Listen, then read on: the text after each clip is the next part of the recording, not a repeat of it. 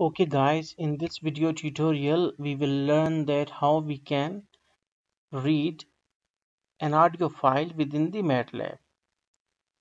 For it we must know that MATLAB is offering a built-in command of audio read. So what it is, audio read means the function with the help or command with the help of which we can read the audio file but which audio file? The file which link we will mention inside these inverted commas. But here we are just writing handel.wav because it is a built-in file of the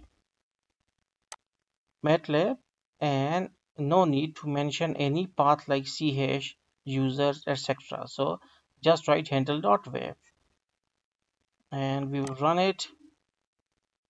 And we we just got that all these samples are read by the MATLAB. Now we will write sound comma y comma fs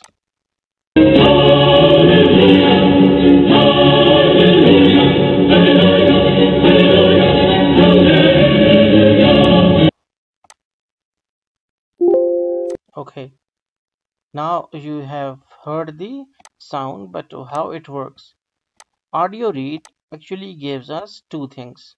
One is first of all it will read this file and store all the file sample inside the variable y. Means that now all the file is inside the y. And fs is the sampling frequency. Sampling frequency means in one second how much samples we have taken from the given signal or how much time we have seen the values in one second of any signal. So it is the sampling frequency and sound y comma fs will just uh, run it or it is like uh, to create audio from the sample these from these sample. So you can try it in your MATLAB. Hopefully you got the concept. Thanks for watching